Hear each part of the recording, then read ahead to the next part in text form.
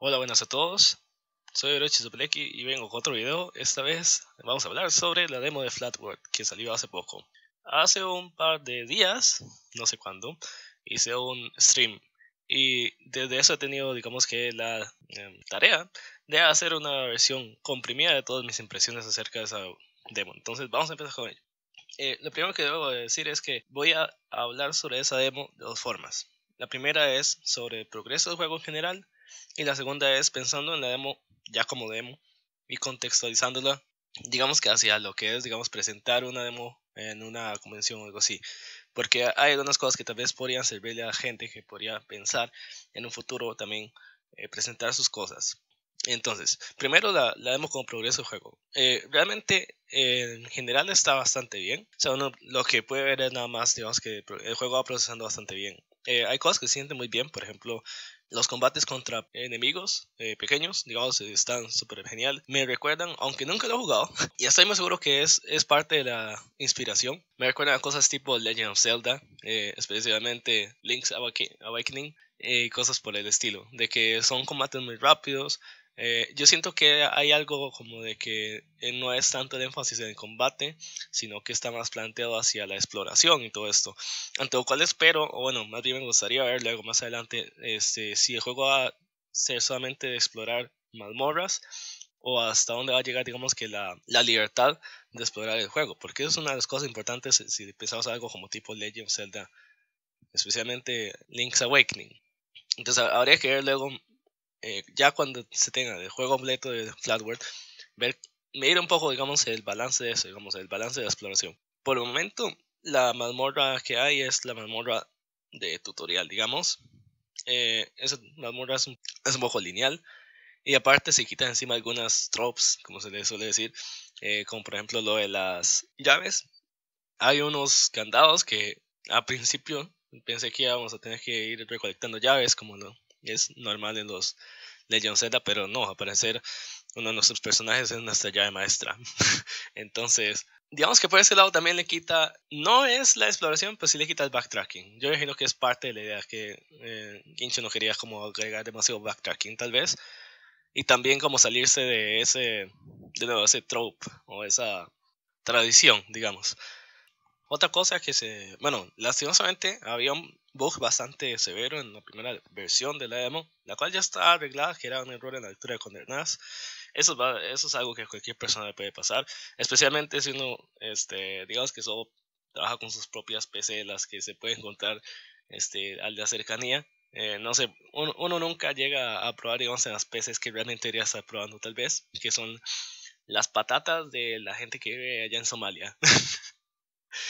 Ah, anyways, eh, luego hay algunos errores más pequeños, digamos, como eh, hay algunos errores en algunas texturas, algunos UVs que faltan. Eso es probablemente cosas que quedaron y no se pudieron solucionar al final, digamos, eh, por tiempo, más que por otra cosa, porque no es nada difícil de solucionar. También en esa demo específica no hay nada de sonido.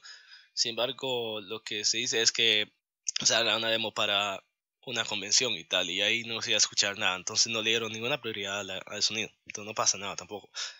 Lo que sí estuve viendo también en combate era que el rango del ataque es un poco corto. Eh, algunas partes sentía como que le iba a golpear al enemigo, pero no le golpeaba.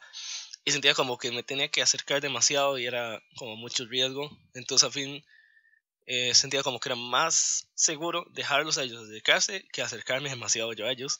Y no sé, eh, siento que cuando uno va a atacar en un juego de estos debería sentir suficiente seguridad, si no, entonces uno siente como que, eh, como que el ataque no es suficientemente confiable, no sé.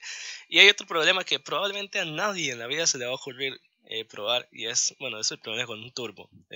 tengo un mando que puedo activar el modo turbo que hace algunos efectos un poco extraños. Lastimosamente lo probé con enemigos y no podía hacer eh, mucho daño, pero se veía cool.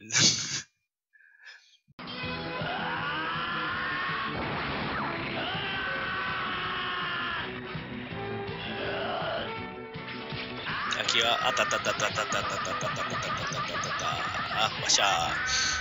Por otro lado, Prince, eh, por motivos de trama, nos dice que no atacar. Probablemente tiene que ver también con la caracterización del personaje Sin embargo, me gustaría que al menos, eh, esto ya es súper personal, pero bueno, este, tal vez que uno cuando presiona el, botón haga el algo, aunque sea haga una mueca o algo, no sé, o que se niegue por completo, o que haga, una bofetada que los tire para atrás o algo así. En fin, no sé, sentía un poco molesto, digamos que me estuvieran teniendo que forzar a estar cambiando de personajes. A veces solamente quería hacer como llegar a un sitio rápido con Prince sin tener que estar cambiando, pero bueno, no sé. Y lo otro, un problemilla más que había por ahí, que ya algunas personas lo notaron también, estoy viendo en Twitter, y es que obstáculos, algunos obstáculos que quedan detrás de paredes, especialmente en la parte donde están todas estas puertas, hay uno específico que no se logra ver para nada nunca, y yo creo que es mejor quitar ese obstáculo que dejarlo ahí. Eh, básicamente porque es una pared invisible, o sea, se convierte en una pared invisible y es como un poquillo molesto. Ahora, hablemos de demo en el contexto de eh, la convención y todo eso. Primero hay que hablar sobre la duración de la demo. Hay que considerar que la demo es una buena porción, exposición y tutorial. Lo cual, digamos, yo estoy seguro que Ginchu lo tomó en, consideración. En RPGs yo tengo la primera experiencia también, porque yo también me gusta hacer ese tipo de juegos. Es bastante difícil tener que hacer exposición de toda la o sea, tenemos un argumento, tenemos mecánicas y tenemos todo eso y hay que presentarlo y todo lo queremos presentar, pero obviamente uno no tiene el tiempo para ello. De hecho, ese lado Genshin bien, especialmente la parte de trama. Hay gente que empezó a decir que dónde está la historia y no sé qué, pero eh, eso casi, o sea, básicamente hay que obviarlo y decirles, este, no tenemos el tiempo para hacer eso. O sea, esta es una demo que te debe durar probablemente entre 5 minutos a 10 máximo. La gente se puede tomar el lujo, llegan sus 10 minutos, pero la mayoría del tiempo uno debe pensar en eso. O sea, la gente está pasando, yendo y viniendo. Entonces hay que pensar en reducirlo todo y presentar las cosas más importantes, básicamente. El feel del juego. Más que presentar como cuál es la historia y todo lo demás. Este, ya eso las personas luego más adelante pueden eh, ver trailers, ver otro tipo de material si les interesa, eh, ponerse, digamos, disponible y que lo puedan ver este, para cosas que necesiten un poco más de involucramiento, digamos. Eh, en eso yo creo que lo hizo bien Ginchu. Siento, eso sí, que el tutorial todavía, o sea, estaba como al límite de longitud y todo eso está, digamos, bien. hay una parte en la que ya uno le suelta las manos y le pone a experimentar lo que son los puzzles y todo esto. Luego llega el clímax en donde viene el jefe. Ahora, lo malo es eso, que el jefe no está. Te hacen el clímax y hay un puente. De hecho, ese puente eh, hace. Estoy seguro que hace referencia al puente de Castlevania, Symphony of the Night. En general, todos Castlevania tienen ese puente en donde va uno subiendo y se dirige hacia el jefe. Es una forma de construir tensión. Pero todo se va abajo porque luego llegas a donde la jefa, en este caso, y te dice: No estoy programada, este, aquí se acaba. Y eso es un bajón, digamos. Eh, digamos, hace, demasiada falta. Eh, me habría gustado bien hasta que hasta que no hubiera demo este año y hubiera una demo hasta que estuviera el demo, hasta que estuviera el jefe. Porque, o sea, e, eso es construir, la construcción de tensión estuvo este, muy bien, pero luego ese bajón es como, eh, es como una zancadilla, como una patada de trasero. Y pues sí. Entonces, recomendaciones. Para gente que digamos que vaya a hacer esa presentación de demo, digamos, eh, piensen bien en la oración y piensen bien en cuál es el recorrido, qué cosas quieren presentar al jugador. No tienen que hacer algo así como súper increíble. A veces ni siquiera, o sea, si es un juego de combate, probablemente sí tengan que meter algún tipo de combate, pero no tienen que enfocarlo en eso. A veces también es importante mostrar un poco como las otras calidades.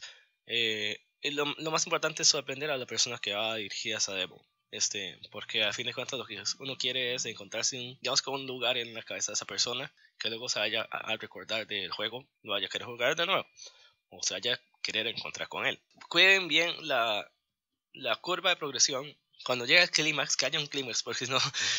Ah, en fin, eh, eso sería todo. Entonces, este, gracias por ver este video. Esto es una pequeña pseudo review del demo de Flatworld. Eh, espero que les haya este, hecho algo de gracia o algo así, no sé.